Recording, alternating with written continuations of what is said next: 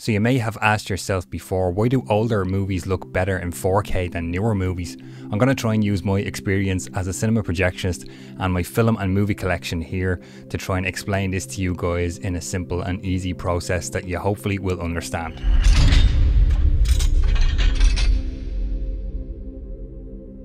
Hey everyone, my name is Rob. Welcome to my YouTube channel called The Movie Vault, where I want to help advise and inform you guys about 4K Blu ray and DVD collecting. So, if that sounds like something you might be interested in, please consider subscribing to the channel and hitting the little bell to get notified every time I post a new video. Let's get into today's topic Why do older movies look better on 4K than newer movies? First of all, let's talk about some film formats here. I have been a cinema projectionist since 2002, so well over 18 years at this stage, I have worked in a cinema and a projection environment, handling all sorts of film. So the film formats we're going to talk about for today's video are 16mm film, 35mm film, 70mm film, and IMAX film, also known as 1570mm film. Let's talk about the restoration process and how that happens.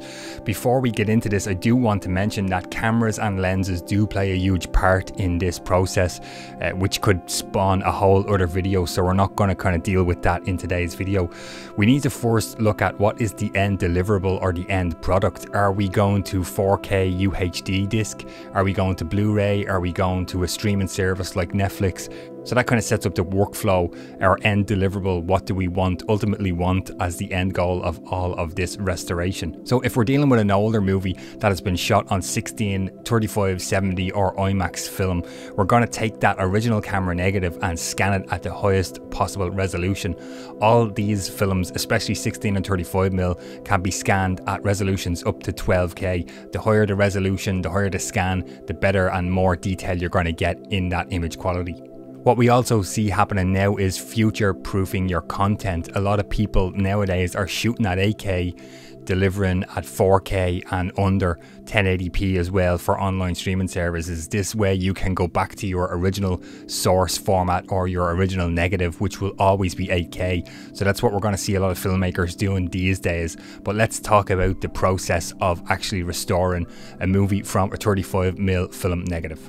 So there are many different types of scanning machines available. There is an Arriscan, a Scanity and a ScanStation just to name a few here. There is two different ways we can take this Private Benjamin 35mm trailer, which we're going to pretend is a camera negative here, and we want to get this 35mm negative to a 4K UHD disc. So how are we going to do that? There's two scanning options here. We could scan at 4K for just the area that we want to use for the 4K UHD disc. The other option we have here is to overscan this image at 6.5K, which will give us the entire width and height of the film frame, including including the perforations or the sprocket holes on the side as you'll see here. So what we can then do is crop that 6.5k scan down to 4k. We could use an image stabilization if for some reason the camera negative was unstable or unsteady. We could do a lot more things like that with the overscan at 6.5k. And just as a comparison, 70mm film or IMAX 1570mm film, you'd want to scan those sort of negatives at resolutions between 8 to 12k. So after we have completed our scan here, we're going to convert that scan digitally to what's called a digital intermediate or a DI. I'm just going to give you guys a brief explanation here. Digital intermediate or a DI is a motion picture finishing process which classically involves digitizing a motion picture and manipulating the color and other image characterizations. That's a brief description of what a digital intermediate is, which is perfect here because now what we're going to do is we have either a 4K or a 6.5K scan of our private Benjamin 35mm negative here from the camera. So let's say we make a 4K digital intermediate, which is going to give us a 4K workflow here. So we're going to be able to, we're going to have to recolor grade this as you can see here because this trailer has faded here unfortunately over the years. So we're going to recolor grade that, usually involving a, the director of the movie or the cinematographer. The more people involved from the original shoot of the film, the better. So we can get that scan 4K scan and restoration looking exactly as it was intended at the time the film was shot. So from this 4K digital intermediate here, we're going to be able to deliver a 4K UHD disc, a 1080p Blu-ray, or a DVD as desired. We can also, if this movie was going to be shown in a cinema or a theater, we can also create a DCP, which is basically a hard drive. We could export a 4K DCP or a 2K DCP, whatever we want. We have that 4K digital intermediate from the 4K scan source of the movie.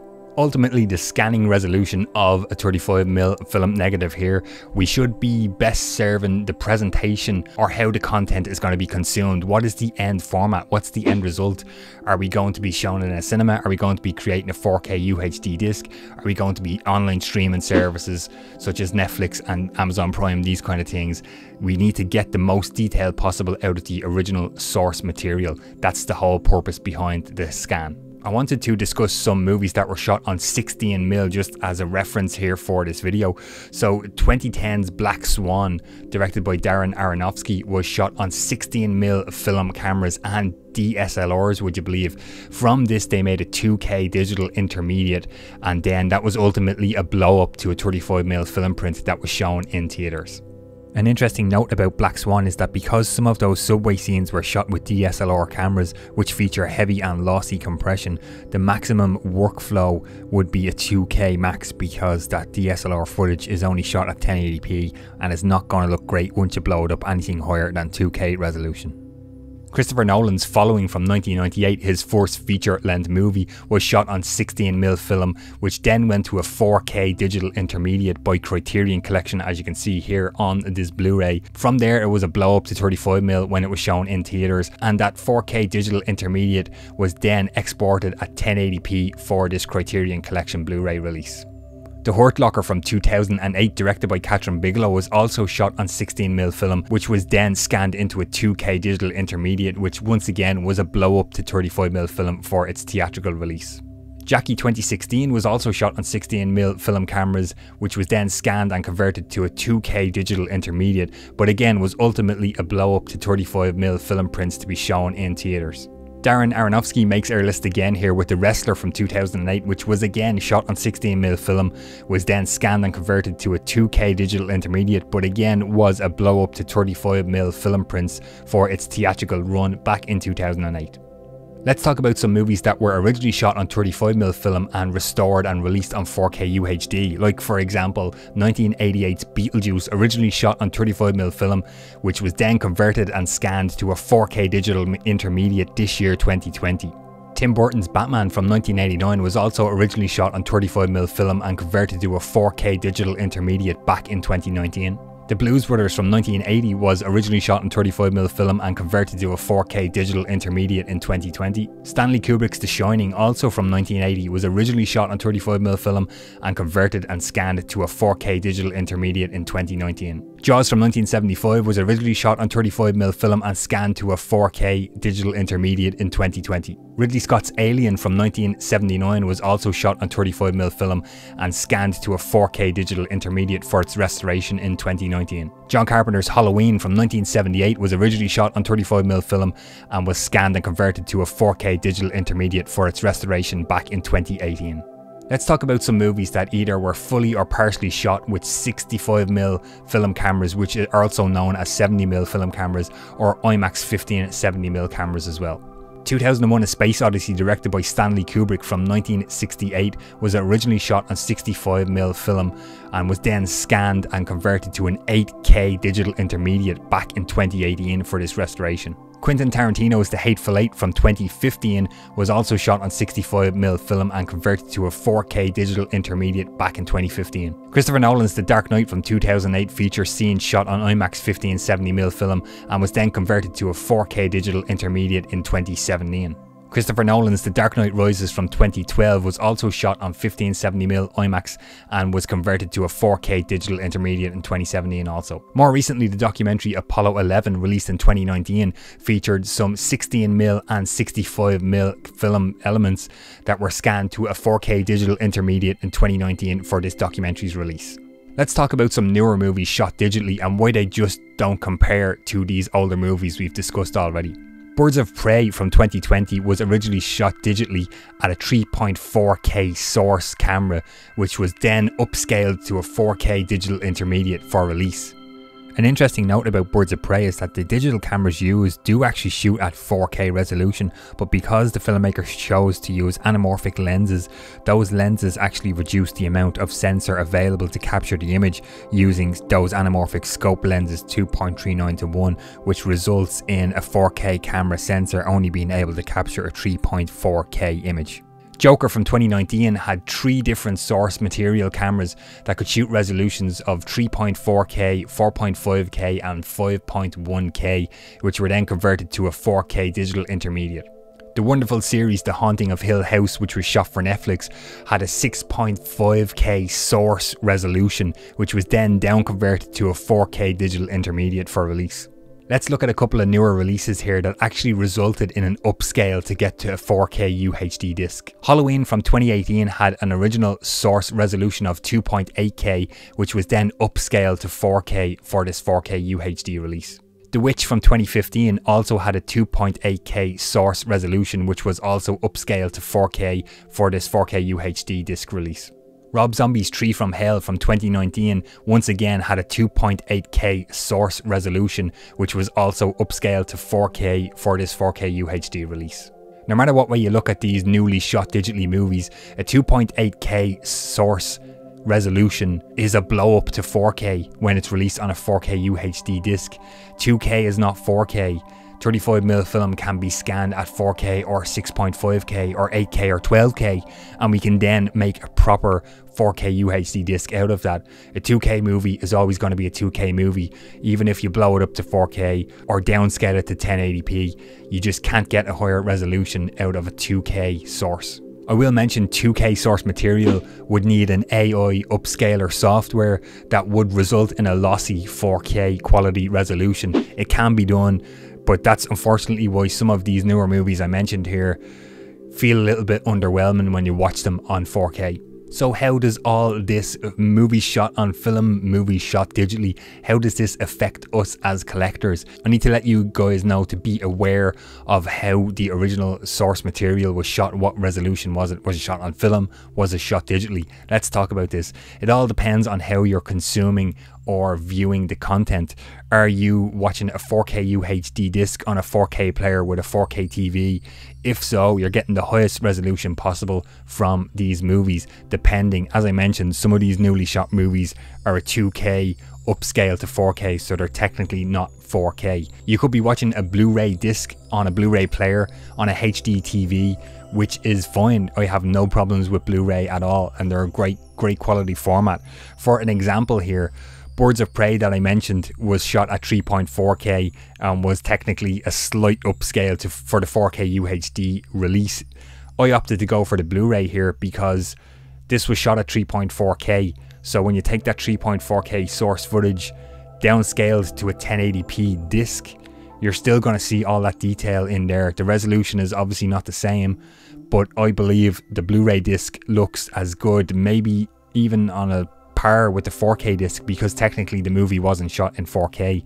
Sometimes these 4Ks feel a little bit underwhelming when you watch them, so I believe Blu ray may be the option for some of these movies that end up being a 4K upscale. Blu ray might be the better option for you guys, and also you're going to save some money buying the Blu ray here as well, slightly cheaper than the 4K UHD disc. That's technically not a 4K resolution disc. Another way this affects our collecting is you may want to consider are you going to upgrade to a 4K setup in the future? or I upgraded to a complete 4K setup, 4K TV, 4K Blu-ray player and a 4K amplifier receiver. So you if you are going to consider upgrading to 4K in the future, you may want to look at if you want to kind of build a 4K movie collection now. There are some good deals where you can get a 4K release which features a 4K UHD disc, a Blu-ray and sometimes even a digital download code as well. So if you purchase those movies now, you are kind of future proofing some of your movie collection for when you do make the jump into a 4K setup. So I just want you guys to be aware that some older movies do look fantastic on 4K and that's the whole point. If they're scanned and restored properly, like I've explained in this video, that's why these older movies look brilliant on 4K and sometimes these newer movies look that little bit underwhelming, look a little bit flat. They just don't look the same as older movies. So if you're able to get an older movie that was restored at 4K and you get the 4K UHD disc and you're watching on your 4K player on your 4K TV, you are seeing that movie at the highest possible quality available right now in 2020 as of making this video. So a quick cheat to find out if a movie was shot on film or if it was shot digitally is IMDb. If you go onto IMDb and you search for the movie you want to find out for, let's say for example Jaws, if you scroll down and then you click into technical specs, it's going to tell you in there what the original cameras were, even the lenses sometimes, what the original negative format was and what sort of digital intermediate was used. So if you know a movie was shot on film and it has a 4K digital intermediate, that 4K UHD disc, chances are it's probably going to look pretty decent. So that kind of wraps up my video here on why do older movies look better on 4K. I don't claim to be an expert in any of this, I just wanted to kind of use my experience as a cinema projectionist working with all these film formats for over the last 18 years and try and explain this in a video in a way that hopefully you guys will appreciate and understand and sort of makes sense here in all the images and stuff that I've used to kind of explain this. Um, it's a really interesting topic. We could talk and have a whole video series and a whole podcast series about this 4K and why some stuff looks good and some stuff looks bad. And there's a lot of famous movies out there that were shot in 35mm and there's 4K and Blu-rays that just look terrible when the 4K restoration or 2K restoration, whatever your digital intermediate is, when that restoration isn't done properly, it can ruin the end result result, the final product, what we talked about at the start of the video, it can ruin that Blu-ray or that 4K UHD disc for us, the viewers and the consumers. There are a couple of other videos out there on this topic, but this is just how I kind of interpret the information and how I've worked with these film formats and just this is how I explain why older movies look better on 4K than newer movies. I hope you guys have enjoyed the video. Let me know down in the comments what you think. If this has all made sense, if you have learned anything from this video, hopefully you enjoyed it. If you did, please give it a thumbs up. Don't forget to subscribe to the channel and as I mentioned at the start, you may want to consider hitting the little bell to get notified every time I post a new video. I have some other videos on 4K, my top 5 4K older films on disc I'm going to leave here, and my top 5 newer movies on 4K disc I will leave here. Thanks for watching guys, and I hope to see you on the next video.